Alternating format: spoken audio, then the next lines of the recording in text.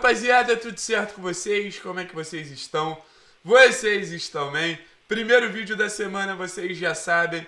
Eu desejo aqui para todos nós uma ótima semana em relação aos nossos objetivos pessoais e, obviamente, aos objetivos do Atlético, que lá na próxima segunda-feira a gente esteja comemorando uma boa semana do Furacão, uma semana de boas notícias, uma semana de boas atuações, beleza? Então, como a gente não faz vídeo só na fase boa, na fase ruim, a gente está aqui também. Depois de derrota, a gente está aqui também. A gente vai repercutir ao longo dessa segunda-feira o que aconteceu no confronto contra o Bahia. Um confronto muito decepcionante pela expectativa que se existia de uma vitória, mas um confronto que deixa alguns ensinamentos e é muito importante, né?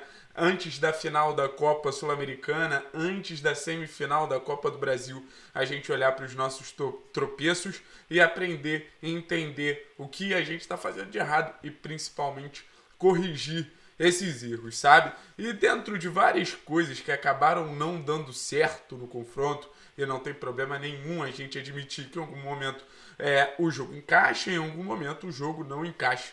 O que mais me impressionou foi a relação da torcida com o Alberto Valentim. Era um momento de festa, era um momento extremamente é, apto para a torcida estar tá ali apoiando, tá com um pouquinho mais de paciência, mas acaba vaiando o time no momento final ali, pelo menos alguns torcedores acabam chamando o Valentim de burro. E, cara, a gente vai falar dos erros do Valentim. Vamos repercutir aqui o que pode ter gerado essa reação da torcida e se faz sentido realmente chamar o Valentim de burro ou, porra, é, foi precipitado, se realmente tirar o Terãs do jogo valeu de todo esse movimento no começo do trabalho, que nunca é bom no começo do trabalho você minar assim a confiança de um profissional, independente do que o Valentim fez no Vasco, independente do que o Valentim fez no Botafogo, no Havaí, eu quero saber o que o Alberto vai fazer no Atlético, sabe? Não adianta a gente julgar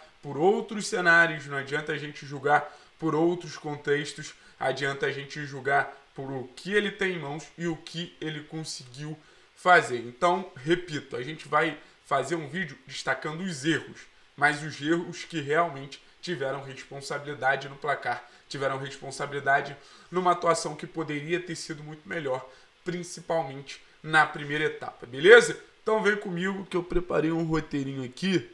É, um segundo, pronto. Roteirinho na mão.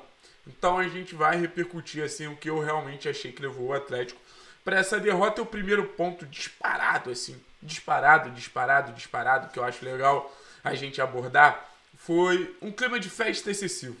O Atlético tinha muitos motivos para usar o jogo do Bahia para comemorar. Retorno da torcida, é, o número atingido pelo Nicão de 300, 300 jogos, o retorno do Alberto Arena, querendo ou não, numa nova função, com uma nova moral, mas é um jogador que, que fez uma história muito bonita com a camisa do Atlético, agora volta como treinador, mas para os mais saudosistas, ter o Alberto ali significava bastante, enquanto o Bahia vinha de uma fase, troca de treinador e tudo mais, era todo um contexto muito propício para o Atlético ter o domínio do jogo mas esse domínio não aconteceu por uma postura em alguns momentos um pouco tranquila demais. Eu vi o Atlético entendendo que poderia fazer o resultado necessário a qualquer momento que o gol ia aparecer no piscar de olhos. Mas não foi o que aconteceu. O Bahia tinha uma estratégia que eu não acho que tenha sido é, um nó tático do Guto no, no Alberto. Se foi um nó tático, aí a gente tem que se, é, começar a preocupar muito mais. Porque o que o Guto fez foi a coisa mais simples do mundo. Encurtou o jogo defensivo, tirou espaço das entrelinhas e botou um Bahia para reagir. Era natural que isso aconteceria, sabe? E, obviamente, aconteceu. Uma estratégia que a gente já viu em muitos momentos no Ceará e uma estratégia que a gente já viu em muitos momentos o time pior fazer. Inclusive, o próprio Atlético de 2020 jogou em vários e vários e vários momentos nesse jogo mais primitivo, nesse jogo menos complexo. Mas volto a falar, acho que o clima de festa antes de qualquer partida ele mais atrapalha é, do que ajuda, sabe? Então, no final das contas, óbvio, o torcedor ele tá ali para fazer a festa dele, o torcedor tá ali para curtir o momento dele, Mas aí também é responsabilidade tanto do elenco, como vai absorver esse cenário para não entrar nessa maneira acomodada, e o Alberto também ele tem que saber administrar. Tá todo mundo ali querendo ver um grande jogo, querendo ver um grande momento, querendo ver uma grande festa, mas quem vai proporcionar isso são vocês. Então é um erro geral, tanto dos jogadores quanto da comissão técnica. Mas repito, acredito eu que poderia ser um erro controlado. Se você tiver mais domínio do seu grupo, acho que você consegue controlar esse tipo de situação. Mas também não sei se é cedo você pedir um domínio é, dentro de um período muito curto. Mas também se fosse um treinador que, que fizesse uma leitura melhor, eu acho que ele teria é, pensado nesse clima de festa, sabe? Então é o primeiro ponto assim que eu quero abordar e eu acho muito relevante. Repito, não é culpa da torcida, não é culpa do clube. É culpa de quem não soube interpretar. A gente vem falando de uma maturidade que o Atlético vem adquirindo nos últimos jogos. Nesse momento, não foi maduro, sabe? É... O próximo ponto, talvez o mais revol... revoltante para mim e o mais revoltante para vocês também, minha gente. Pedro Henrique, não dá mais. Eu, eu até dei uma respirada funda aqui, até demorei a falar porque é uma situação assim que, que tá, tá, tá atrapalhando tá atrapalhando. Pedro Henrique é um jogador que já fez uma belíssima temporada com a camisa do Atlético. Parecia em algum momento ali que seria o parceiro ideal do Thiago Heleno. Mas, cara, é uma temporada 2021 há muito tempo muito ruim, sabe? Ai, Thiago, o que, que o Pedro Henrique fez? Cara, logo nos cinco primeiros minutos ele entrega a bola no pé do Gilberto e o Gilberto tranquilamente poderia ter feito gol, sabe? Eu vou tirar até a responsabilidade do Pedro Henrique em algum lance ali de gol. Mas é um fato.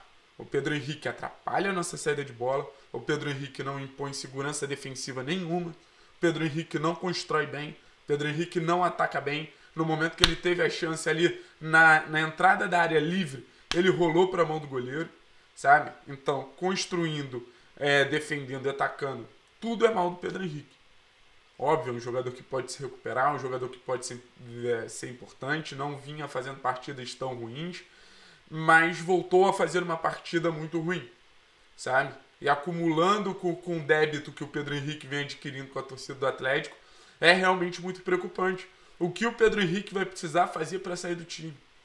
Sabe? Entregar uma final de Sul-Americana, entregar uma semifinal de Copa do Brasil, a gente sabe que é o líder do grupo, ele pode continuar ajudando a partir do momento do vestiário. O que ele não pode fazer é atrapalhar a equipe. O que ele não pode fazer é continuar fazendo com que o Atlético não tenha um mínimo de, de fluidez na saída de bola. A jogada ela só acontece de maneira legal, de maneira positiva, quando ela começa de maneira legal, de maneira positiva. E hoje não é isso que o Pedro Henrique proporciona ao Atlético. Então é mais um erro do Valentim, como foi erro do Lazzaroni, como foi erro do Autori, como foi erro também do Antônio nos momentos que, que optou e, e escalou o Pedro Henrique de maneira cega, sabe? Enquanto o Pedro Henrique for titular do Atlético, o Atlético está perdendo. Ah, Thiago, mas não tem ninguém para botar no lugar do Pedro Henrique. Tem, tem o Fasson. Você tira o Zé da posição que ele gosta de jogar, que é zagueiro pela direita, para botar o Pedro Henrique, bota o Zé na esquerda, deixando o Zé Ivaldo muito menos confortável e tira nosso melhor zagueiro construtor, que é o Fasson. Então, considero também um erro muito grave, sabe? Considero um erro muito grave. O terceiro erro, acho que, que esse sim gerou um gol, né? Que foi o gol do Gilberto de cabeça. O Marcinho errou. O Marcinho errou.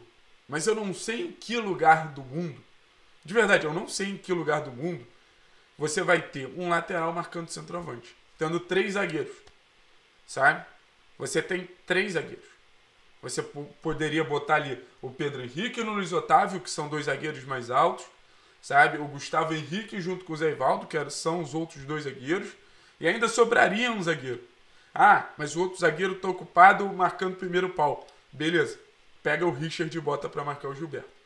Quem não pode marcar o Gilberto é o Marcinho.